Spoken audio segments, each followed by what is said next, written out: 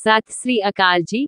ਤੁਸੀਂ ਵੇਖ ਰਹੇ ਹੋ ਗੱਲ ਪੰਜਾਬ ਦੀ ਚੈਨਲ ਦਾ ਖਾਸ ਪ੍ਰੋਗਰਾਮ ਪ੍ਰਕਾਸ਼ਬਾਣੀ ਇੱਕ ਚਰਚਾ ਮੁਤਾਬਕ, ਖਾਲਿਸਤਾਨੀ ਗੁਰਪਤਵੰਤ ਪੰਨੂ ਦਾ ਕੁਟਾਪਾ ਗਰਮ ਖਿਆਲੀ ਸਿੱਖਾਂ ਵੱਲੋਂ ਕੀਤੇ ਜਾਣ ਤੋਂ ਬਾਅਦ ਖਾਲਿਸਤਾਨੀ ਦੋ ਗਰੁੱਪਾਂ ਵਿੱਚ ਵੰਡੇ ਗਏ ਹਨ। ਚਰਚਾ ਮੁਤਾਬਕ ਪੰਨੂ ਨੂੰ ਉਸ ਵੇਲੇ ਥਪੇੜਿਆ ਗਿਆ, ਜਦੋਂ ਜਥੇਦਾਰ ਗੁਰਮੇਜ ਸਿੰਘ ਗਿੱਲ ਨੇ ਗੁਰਪਤਵੰਤ ਪੰਨੂ ਨੂੰ ਇੱਕ ਗੁਪਤ ਟਿਕਾਣੇ ਤੇ ਇੱਕ ਕੁੜੀ ਹਾਰਡ ਕੌਰ ਨਾਲ ਅਲਫ ਨੰਗੀ ਹਾਲਤ ਵਿੱਚ ਹਾਰਡ ਹਰਕਤਾਂ ਕਰਦੇ ਹੋਏ ਫੜ ਲਿਆ ਅਤੇ ਉਸ ਨੂੰ ਮੂਦਾ ਪਾ ਕੇ ਉਸ ਦਾ ਕੁਟਾਪਾ ਕੀਤਾ ਗਿਆ, ਪਰ ਗੁਰਪਤਵੰਤ ਪੰਨੂ ਅਤੇ ਉਸ ਦੀ ਮਸ਼ੂਕ ਹਾਰਡ ਕੌਰ ਆਪਣੇ ਅੰਡਰਵੀਅਰ ਛੱਡ ਕੇ ਅਲਫ ਨੰਗੀ ਹਾਲਤ ਵਿੱਚ ਹੀ ਦੌੜਨ ਵਿੱਚ ਕਾਮਯਾਬ ਹੋ ਗਏ।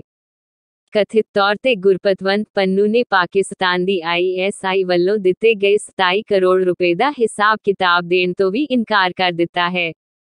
ਚਰਚਾ ਮੁਤਾਬਕ ਸਿੱਖਾਂ ਦਾ ਕਹਿਣਾ ਹੈ ਕਿ ਪੰਨੂ ਨੇ ਖਾਲਿਸਤਾਨ ਦੇ ਨਾਮ ਤੇ ਫੰਡ ਇਕੱਠਾ ਕਰਕੇ ਆਪਣੀ ਅਯਾਸ਼ੀ ਤੇ ਖਰਚ ਕਰ ਦਿੱਤਾ ਹੈ, ਜਦਕਿ ਪੰਨੂ ਦਾ ਕਹਿਣਾ ਸੀ ਕਿ ਉਸਨੇ ਖਾਲਿਸਤਾਨ ਦੀ ਲਹਿਰ ਚਲਾਈ ਹੈ, ਇਸ ਲਈ ਇਸ ਪੈਸੇ ਤੇ ਉਸੇ ਦਾ ਹੀ ਹੱਕ ਹੈ। ਜਥੇਦਾਰ ਗੁਰਮੇਜ ਸਿੰਘ ਗਿੱਲ ਵੱਲੋਂ ਪੰਨੂ ਅਤੇ ਉਸ ਦੀ ਮਸ਼ੂਕ ਦੇ ਕੱਪੜੇ ਅਤੇ ਹਰੇ ਰੰਗ ਦਾ ਕੱਛਾ ਜ਼ਬਤ ਕਰਕੇ ਕਬਜ਼ੇ ਵਿੱਚ ਲਏ ਜਾਣ ਬਾਰੇ ਵੀ ਚਰਚਾ ਹੈ।